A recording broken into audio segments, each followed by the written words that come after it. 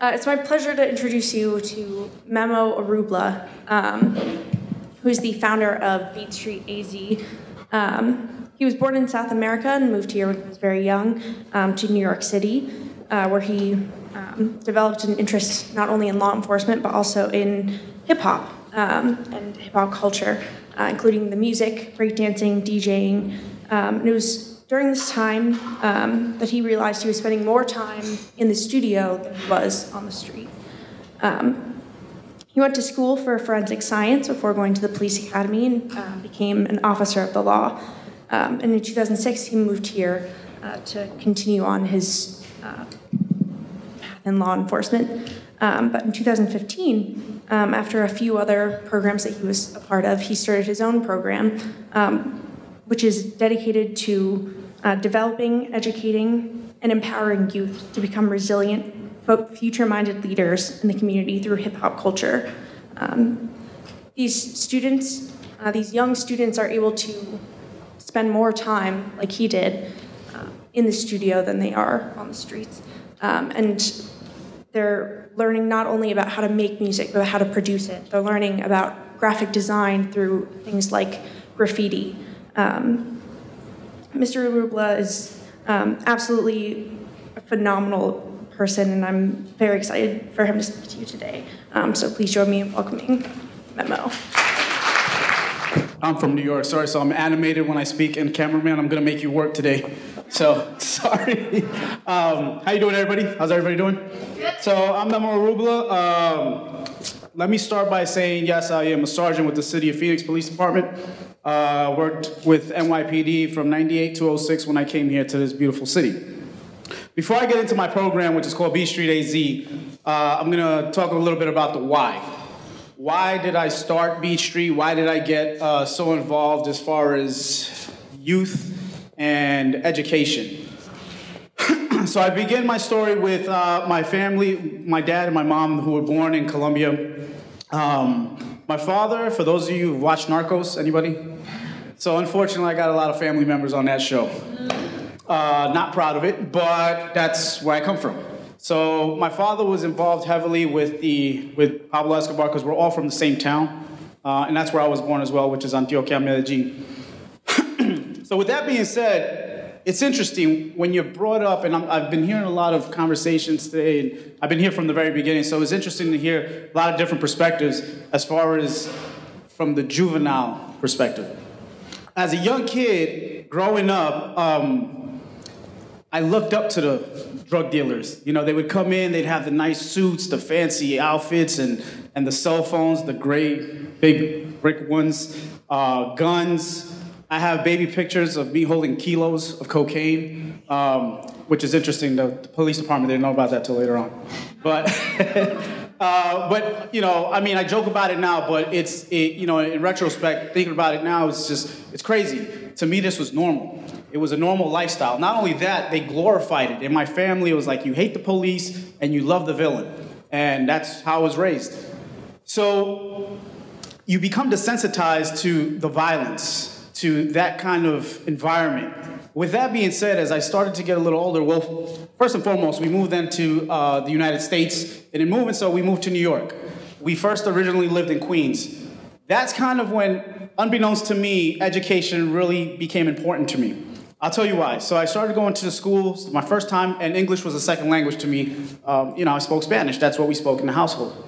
So when I got to school, I started hearing these kids, you know, talking English and really communicating. And Somebody talked about that earlier, um, as far as the second language and communication being really important. So I felt dumb. I felt real dumb because I couldn't express myself. I couldn't talk. I couldn't communicate, uh, and I got picked on. And I wish I could see those kids nowadays. Get them a ticket. No, I'm just kidding. So uh, I felt dumb though. I felt really, you know, just and angry. So at that point, I remember going home and just kind of started listening to, to music. You know, it was it was my dad's record player. Now my dad at this point was in prison. Um, he had gotten arrested for obviously, you know, dealing drugs. Uh, he got picked up by DEA. They actually rediverted an entire flight because of him. Uh, was supposed to go to Panama. They redirected it to Florida. Once he landed in Florida, they arrested him. So with that being said, I was listening to his music, and, and it's through the music that I started to like work on my accent and started to really like hone in on, on the English language as well as obviously what I was being taught in school. So it was interesting though that, you know, so I'm, I'm dealing with this frustration as far as just feeling dumb and, and, and not equivalent to those that I was going to school with, the other children. Um, but now, my father comes out of prison a couple years later, and he is now, he was introduced to cocaine. He never used it, he would sell it, and when he came out, he became a huge cokehead. Uh, with that being said, I started to witness the violence at home. You know, he would get high and just, for whatever reason, think my mom was seeing somebody and just beat her. He jumped out of a second uh, story window at one point thinking he could fly. Uh, he didn't kill himself, but he broke a couple of bones. But again, here I am as a young child experiencing all this, and you know, to me it was normal. I, you know, I'm thinking like, hey, doesn't everybody go through this? You know, I'd go to school and I hear kids talking about sitting at the dinner table, and I'm like, nobody's talking about you know, dad beating up mom or any or any of that, or the uncles coming in and and you know, having the guns on the table and things of that nature. So obviously, as you get older, something I've noticed in career uh, in my career in law enforcement is that when you feel disconnected, and we all, all of us in this room, we all search for a purpose. But we're all seeking, you know, just kind of that acknowledgement that we exist. Nobody wants to feel like they don't exist. Um, so in doing so, when you come up and you're raised in such a troubled environment, you start to relate and kind of associate yourself with those that are going through the same experiences. So I always like to say that I started hanging out with the wrong crowd when in fact I was the wrong crowd. Um, I did this presentation once with one of my friends that I grew up with, and he called me out on it. He goes, uh, "Dude, you were the wrong crowd, not us." I said, "Okay, touche." but uh, so in my teen years, uh, again, just started doing knucklehead things, which I can't speak of because I'm being recorded. so, but uh, regardless, I was doing a lot of bad things, um, and it, it felt good. It felt for the first time, you know, I was being acknowledged by my friends, like, oh, he's crazy, or whatever the case was. So it, it, was just an interesting phenomenon that was taking place. But at the same time, I was called the undercover nerd because I always held education as a primary goal for me. I mean, I just always never wanted to feel stupid again like I did in kindergarten when I couldn't speak English. So fast forward because I mean I can this story is pretty long, lengthy, but um, and I know we got to get out of here by four. So fast forward, I made it a point to make sure that I graduated high school, and I made it a point to get into college. However, there were two things, and I, I feel very fortunate. Uh, you know, unfortunately, Benny and Johnny aren't here because uh, I've been to Rikers. I've seen what Rikers is inside, not as a not as an inmate. However, though, when I worked with NYPD, and I can tell you right now that place it's it's like a dungeon. I, I, you know, and I have family and I have friends that have been to Rikers, and there's nothing good that has ever come from that place. So, two things that I was very fortunate of, and I always joke around and said, you know what? The reason why I have the opportunities that I have today and the successes uh, was because I was fast and I was just never caught. But um, truth of the matter is that as I grew up, I got really involved in the hip hop culture. During the 80s, that's kind of when hip hop culture exploded in New York City um, and kind of came to life. And a lot of people associate hip hop with rap, and I hate that word rap, but a lot of people it's like, oh, it's rap and it's gang and it's violence and, and you know, sex and drugs. Um, I had one friend of mine at work. I was listening to Biggie Smalls, if any of you are familiar with the artist. Um, and I get it. The lyrics are a little, you know, profane. So, you know, one of my fellow officers comes in, he goes, dude, you listen to that music? I'm like, yeah, of course, I love it. I grew up on this. He's like, yeah, but come on, man. Like, they talk about sex and drugs and violence and stuff. I said, yeah, and you're right. I said, but, you know, it's how you interpret it. You know, uh, I said, let me ask you something. What do you like to listen to? He's like, rock and roll. I said, well, finish this sentence for me. Sex, drugs.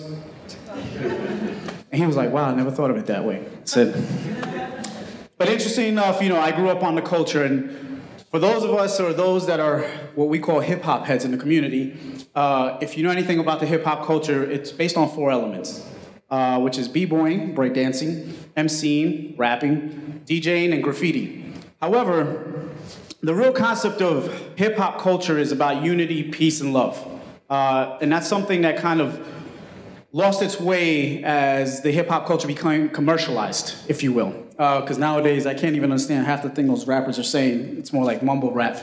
Um, but anyhow, so I was very fortunate in, that I got involved in that hip hop culture and it really grew on me. So I started to dance, I started to get involved. I never really DJ, but I started to, I, I played instruments as a young kid. Uh, it was kind of my way of, to release some of the anger that I had. Um, so I, I, really started getting involved as those years, you know, as I started to get older. Now, when college came around, I was very fortunate because I had a lot of opportunities based on those expressional, you know, those arts that I had developed. Um, I got a chance to teach at Alvin Ailey, which is really, you know, prestigious school as far as dance. Uh, I got uh, opportunities to shadow in some recording studio and uh, with some engineers uh, with artists like India Arie, if any of you are familiar with her, Busta Rhymes. Um, so I was very fortunate enough to have those opportunities. So I spent a lot of time in music studios. What kind of was the epiphany for me? And mind you, during this whole time, I was still being that same old kid who liked the trouble, liked going out and hanging out with the friends and, you know, getting into mischievous things. So one day we were playing basketball. Now my five foot five self had no business playing basketball, but I was playing basketball nonetheless. I fell. I hurt my hip. Uh, the reason why I, bring, I, always talk about the story because this was a pivotal moment in my life. Uh, so that very same night, I had really hurt myself. Like I could barely walk, and I get a, a beep. So I had a beeper. So yes, a while ago. Uh, so I called my friend back, and they're like, "Yo, uh, we're heading up to the Bronx tonight. Um, you know, come join us." I was like, yeah, I can't go, you know, my hip. So they punked me out over the phone, and they were like, oh, dude, you know, stop being a punk, you, you know. And, what the funny thing is the, the, peer pressure that I felt, like not being with my boys, and you know, I'm, I'm letting them down, and I really wanted to be there. And I really tried to make an effort to go, but I couldn't. I just couldn't walk. So I didn't go. So what ended up happening that night was they went to the Bronx. They ended up stealing a car. It was three of my friends. Um, lo and behold, the cops caught up to them. There was a little bit of a chase. They crashed, jumped out of the car. One of my friends got caught, but two of them got away. Uh, however, they were in the wrong neighborhood.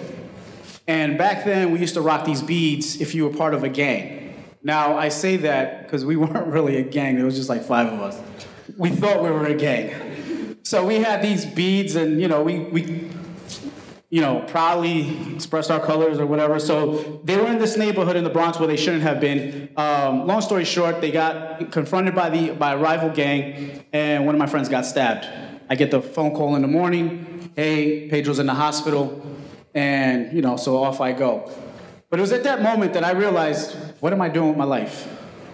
Then, fast forward, a couple of months later, um, mind you, I'm about 16 at this point after my friend got stabbed. I'm 16, and I get a phone call from an ex girlfriend telling me she's pregnant. And I started crying. That was my first reaction. I'm not even gonna lie to you. But I don't mean like the soap opera cry with the nice, no, like bubble snot, you know, bottom lip quivering, like. And then I asked her, What are you doing? She said, I'm keeping it. And I cried even harder. Said, Ah, my life is over. So I bring up these two moments in my life because if it weren't for these two moments, I would not be here talking to you. I'd probably be somewhere in Rikers, to be honest with you, or God knows where if I'd even be alive. So, between my friend getting stabbed and that kind of being the moment where I realized, what am I doing as far as the purpose in life? And then when I became a father at the age of 16, it was at that moment that I realized something that I am now a role model to somebody else, whether I liked it or not. Not only that, I started to analyze how I felt about my own personal father based on everything he had put my mom and myself through, um, which we endured a lot violence, uh, we had a stint with homelessness, and all other kinds of stuff and abuse. And it was at that moment that I realized I'm becoming him as far as an example. And I'm, I'm only going to kind of continue this vicious cycle, which, which, which is what you see a lot of in the hood, uh, as we call it back east. And it's interesting because growing up, a lot of my friends, they don't, and, and it's kind of the culture, and this is kind of where um, I was talking to Luis, who I know over there in the back from correctional department, and I was talking, I said, you know, this is a great conference and all. I said, but I would love if the kids were here. because they're the ones that need it. We, we are all in the same, for the same purpose. We're all here. But, you know, granted, yeah, I can come up here and tell you my story, and that's great, and this is what I do, but at the end of the day, I need the kids to know what resources are out there for them. And it's kind of that culture in the hood where we don't promote education. You know, as much as, as much great work that everybody here has done, and I applaud you for it, myself included, I go out there and I do kind of both sides of, of the work. Um, when I say about the culture, it's kind of like that modern day slavery mentality, is what I like to call it. And I, I refer to sports and the entertainment world. You think about sports, and you see when you go to the hood and you say, hey, there's a science camp. You know, you want to send your kid? No, I'm sending him to the football camp. I need my son to throw hard. I need my son to run fast. And when you really look at the statistics, less than 1% make it to the NFL or NBA or any professional level. And what's interesting is let's look at the real, the NCAA. You have a lot of kids that strive, and I run another program on fitness, and a lot of them are football players.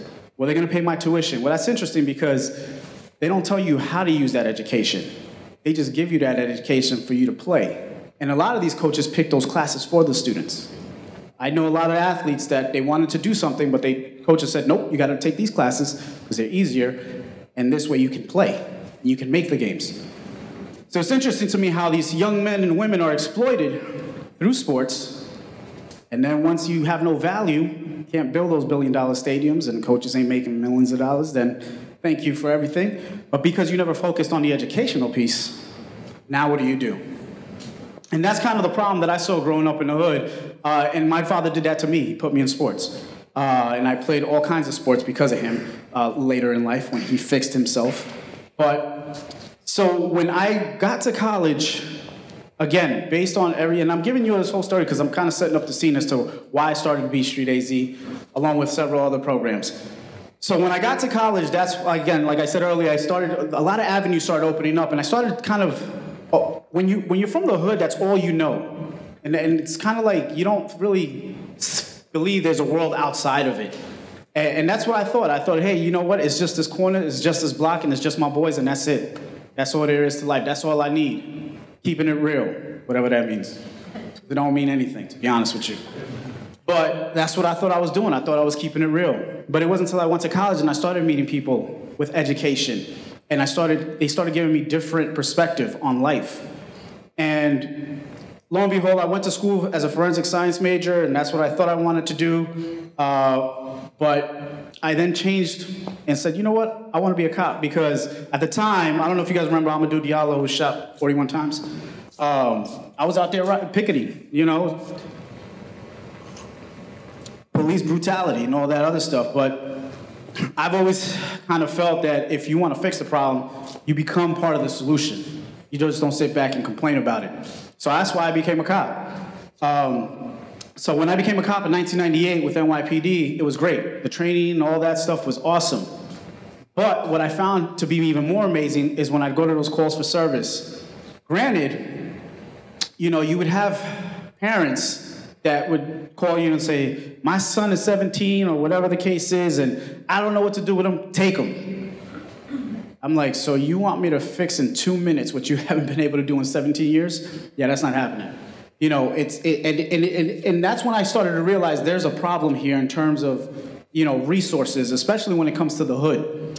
So what I started doing is I started volunteering my time and started mentoring kids at Mentor USA, which is a program in uh, in New York City. And that's kind of where I found my niche as far as helping out youth. And I saw that they really kind of trusted me and they saw that I could relate to them and I connected with them and kind of that mentorship started to develop.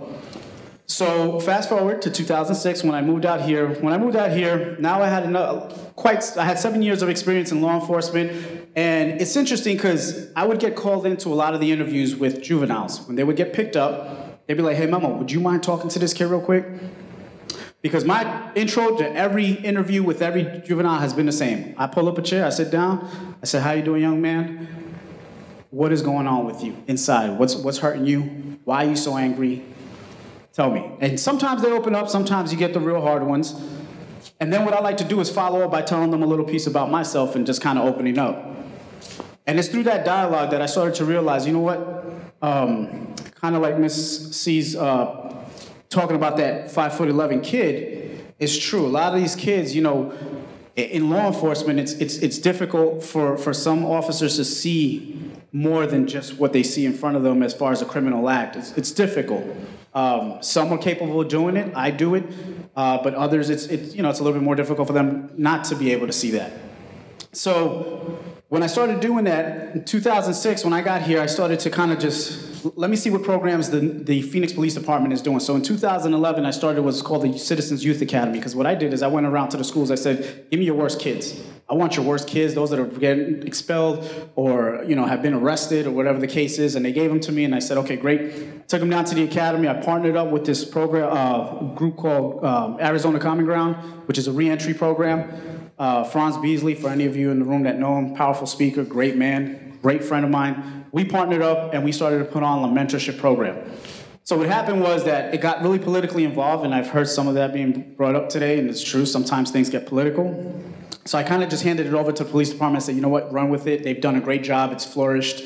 Um, but then after that, I kind of got a taste as to what I was able, like, capable of doing as far as youth. So I wanted to kind of create something else, but make it my own. I didn't want to partner up with the police department because I know, especially when it comes to hip hop, historically, law enforcement, we're the enemy. You don't, the two don't mix. So when I started to think about what I could do, um, I wanted to focus in on hip hop culture. Why? Because that's what saved my life. The time that I spent in those music studios and in the recording studios is the time that kept me away off the streets. And then on top of that, I wanted to provide a way to just mentor kids and lure them in. Because if I said, hey, I'm a police officer and I have a program for you, come on in. They were like, yeah, nah. We're not working with the cops. I ain't no snitch. Um, so usually what I'll do is I'll go into schools. I don't tell them I'm an officer. I come in, I share my story in great length, and then I open it up for questions. And then at the very end, once I've kind of gained their trust and they kind of, you know, connected with me is when I tell them what I do uh, for a living. So when I created Beat Street AZ, I didn't want to reinvent the wheel because there's a lot of hip hop programs already out there. People teaching kids how to break dance, people teaching kids how to, you know, uh, DJ and things like that. So I wanted to bring in an educational and as well as a technological component to it because that's what most young kids today associate with technology. Uh, so what we did is I used the four elements of hip hop culture uh, b-boying, MCing, graffiti, and DJing. And we created these, I created this curriculum where we teach them certain set of skills. So through MCing, we teach effective communication and public speaking. Uh, again, a lot of these kids, when they come to us, and I recruit them from schools is what I do, um, they're not comfortable in their own skin. Uh, they've never talked in front of a crowd before or an audience. Uh, and we kind of break them out of those shells uh, to the point where they start to learn how to write poetry. And I kind of start teaching them, you know, more than how to rhyme words with rich. Because a lot of these kids, they're like, oh yeah, I'm an MC. And I'm like, okay, let's, first of all, let's, let's work on vocabulary. And then I talk to them about vernacular. Because when I go back home, I, I go back to hood. Like I go, I go back, I'm going back in August and I'll go back to, you know, Brooklyn and I go back to Queens and I see my people and I become the old hood again. Like, what up, son? You know, and all that good stuff. But then when I'm talking, you know, when I'm at work, depending on my audience, like I always tell my people, know your audience. And it's changing that vernacular. It's not a sense of you losing who you are, it's just knowing your audience and being respectful of your audience. So we talk about that. We talk about those things because some of these kids, they're like, well, I don't want to talk like that. I'm not going to talk white. I'm like, wait, what does that even mean? Like, proper English, you know? And it's it's it's just interesting to me the the mindset of some of these young kids uh, in our in our in our communities. So through that, we teach all that. As far as graffiti, what I like to do is obviously I focus in on what's criminal and what's not. I talk about it from a perspective of it being art. Because there's paintings that of uh, graffiti paintings that have sold for ten thousand uh, dollars, and I grew up on graffiti, so we teach them though graphic design. So I teach them. So one thing with graffiti artists, because they use my program as a graffiti diversion program. So one thing with a graffiti artist is like you kind of have that itch because again, you want to be acknowledged. You want the world to know who you are. So you need to. I'm gonna tag up this wall. So if you see Memo in the bathroom, I apologize. I'm just kidding. No, I'm kidding. but so you know, you want to. So what I teach these kids is like, listen, because there's now like these social mediums, these social uh, kind of forums for, for graffiti artists to put their work on there and they get the likes, they get people to follow them and things like that. So what we do is I say, hey, listen, you can use Photoshop and uh, we can, let's go tag up the Berlin Wall. Let's go tag up the Eiffel Tower. And they're like, wait, you can do that? I'm like, yeah, we can make it look real and then you can put it on those things and you a lot of people and tell them you were in Paris and then you didn't get caught.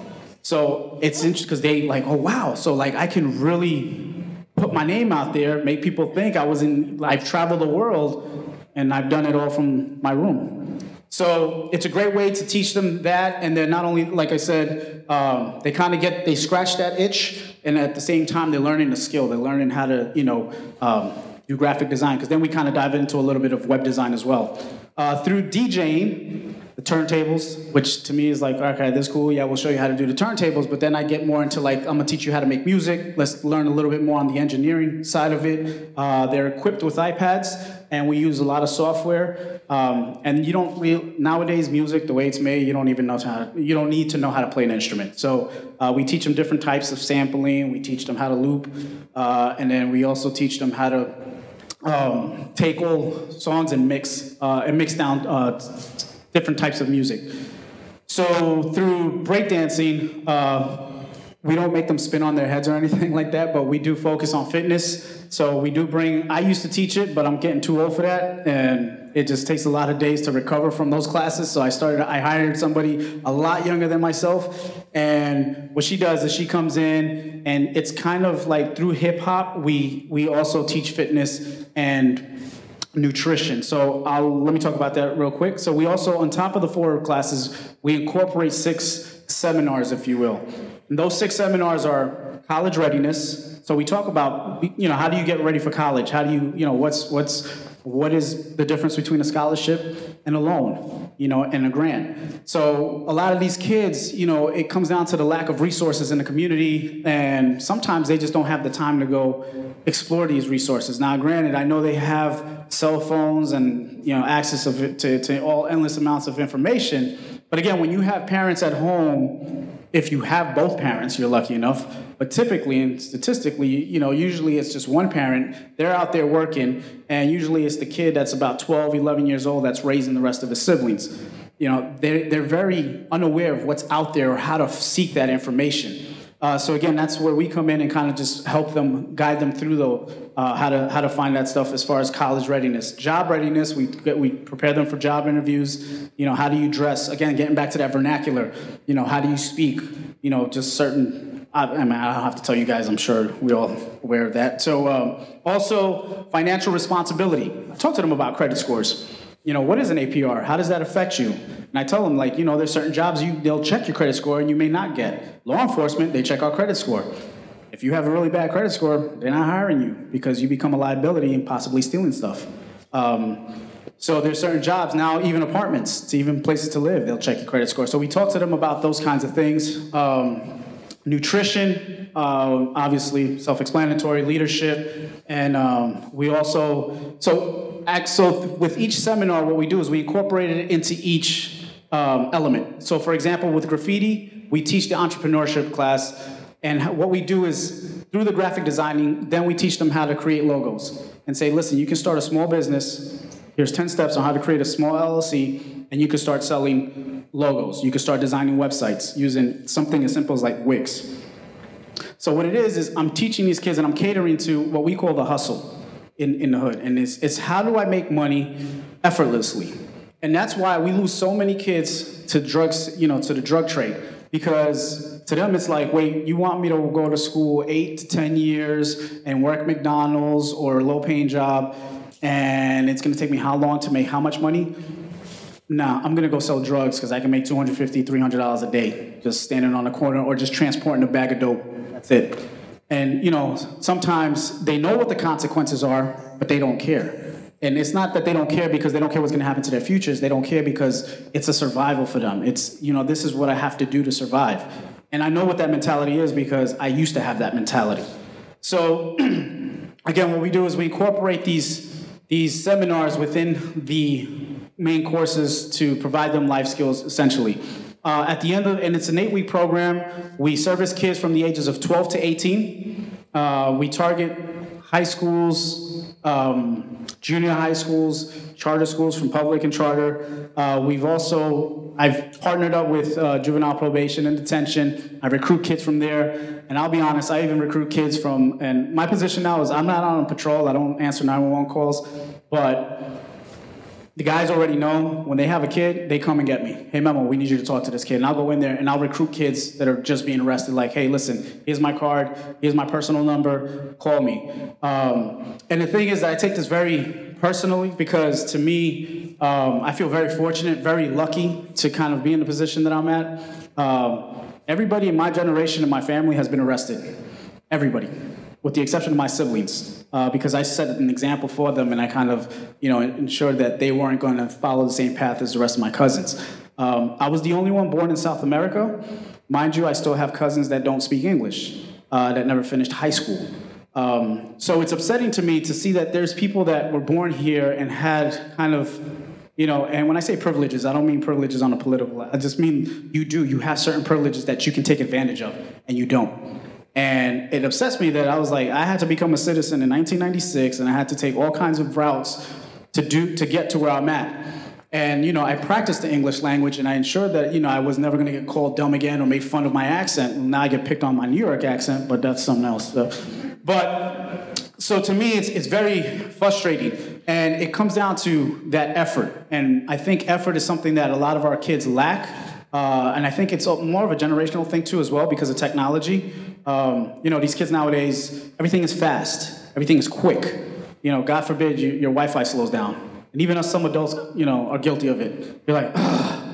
I'm like, there was a day where you have to wait and listen to that dial-up modem sound. Eh, you know, just, or the, the, most infamous one is, you know, like I have a teenager at home. Um, you know, he'll open up the fridge, milk, eggs, there's bread. And, ah, damn, there's nothing to eat. And he closes the fridge. I'm like, dude, are you kidding me? You mean there's nothing that you can put in the microwave to hit a button? There's food, there's eggs. I mean, you can make. He's like, yeah, no, that, I'm not gonna cook. Oh, the other day I saw him pulling out a pan, and he was like, oh, it's dirty. So he spent more time trying to find another pan than just cleaning that one. I'm like, dude, what are you doing? He's like, I'm trying to find another pan. I'm like, you've been at it three minutes. Just wash that one and make your eggs. You would have been eating already.